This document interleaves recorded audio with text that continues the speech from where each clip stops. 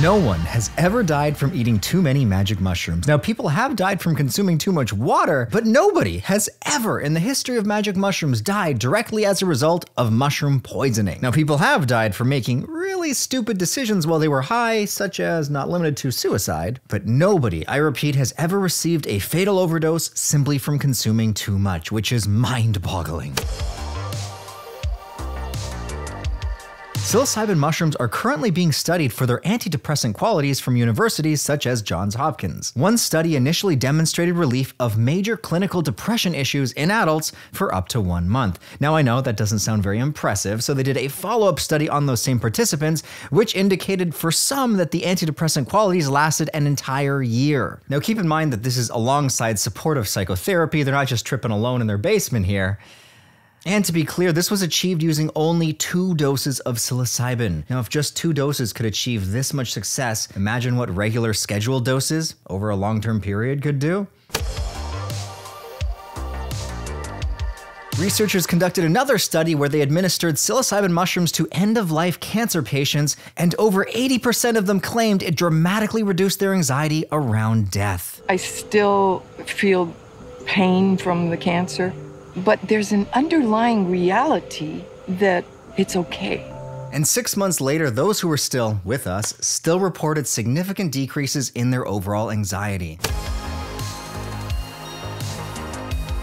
Psilocybin mushrooms, as well as other psychedelics, have been proven to help people quit and stave off addiction. In fact, the co founder of Alcoholics Anonymous, Bill Wilson, was only able to cure his own alcohol addiction not just with the 12 steps, but also with the aid of psychedelic psychotherapy. Again, this is psychedelics used with a psychotherapist, which are going to have slightly different or maybe dramatically different results than psychedelics when they're just taken alone and on their own. The intent that you bring into the experience can greatly influence the outcome.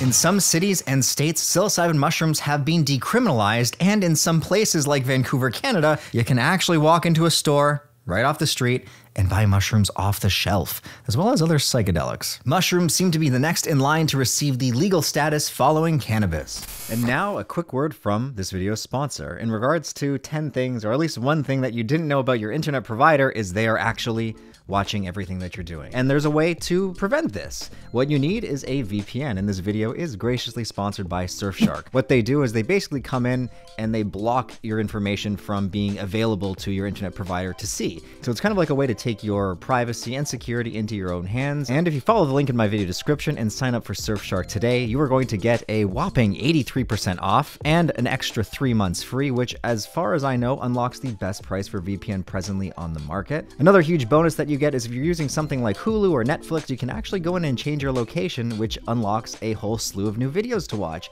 So if you're a movie nut like me, then this is a great way to just, you know, keep consuming more and more content. And finally, the more of you guys that sign up, the more likely they are to sponsor future videos, which helps me. Now we've got, uh, you know, a budding team of one editor over here. So we have a bigger team now. So, you know, all the help we can get is greatly appreciated. So if you do appreciate my content, head on over to Surfshark, use the code PSYCHED, and sign up today to keep all of that internet privacy and security in your own hands. In small doses called microdoses, mushrooms can help people in a very similar fashion as SSRI medication does. In fact, there is a growing community of microdosers who have left pharmaceuticals behind and swear by taking small doses of psilocybin mushrooms to help with their creativity, their depression, it, it alleviates it, it increases their overall mood, their connection to others, just their enjoyment for life. Now, it should be noted that these users are not consuming enough for a full-blown trip. A microdose is, depending on who you talk to, either subperceptual or just slightly perceptual perceptual doses of mushrooms. That means they're taking very small amounts, anywhere from as low as 50 milligrams to three or 400 milligrams, depending on the user's own tolerance. They're also usually not dosing every day. There are two common protocols. There's Fadimans, and then there's the Stamets protocol. The Stamets protocol entails taking them for four or five days in a row, then taking a weekend break. And the Fadiman protocol is a little different. You take it one day, and then you take two days off, and then again. And of course, there's some people who just say balls to the wall, screw these protocols, and they just take it every day, and they alternate with different compounds, which I've tried, well, all of them myself. And in case you're wondering, I'm presently not microdosing. I'm on the I'm taking a giant break protocol. Psilocybin, the chemical compound, the active alkaloid in the mushroom, which is where they get their name from, is actually inactive on its own. In fact, the body converts the psilocybin seen here into the active psilocin seen here, also known as 4-hydroxy-DMT, through a process called decarboxylation where it cleaves this whole chunk off, and it's instead the converted psilocin that is responsible for all of these psychedelic effects, or rather most of the psychedelic effects. More on this in a minute.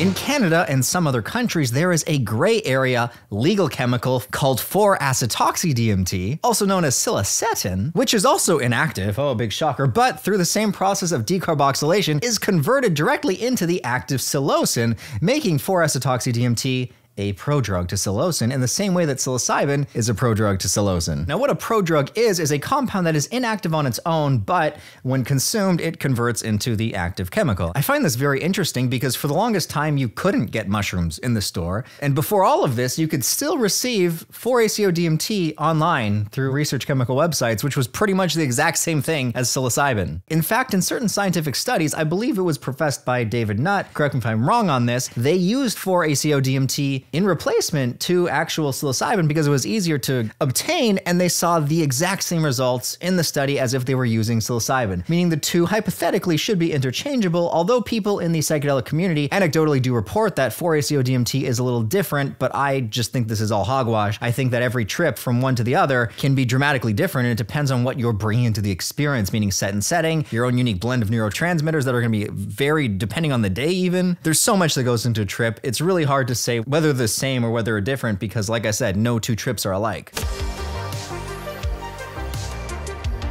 Now, what a lot of people also don't know is mushrooms actually contain more active alkaloids than just psilocybin and psilocin. They also contain something called baeocystin and norbaeocystin, which, although they're usually in very small quantities, have been shown to be psychedelically active on their own. I have yet to read of someone having a full-blown baeocystin trip, and I think it's because you would have to make it in a lab because there's such a small amount in the mushrooms, and no one's gone out of their way to do this yet. Surprisingly, uh, somebody please do this.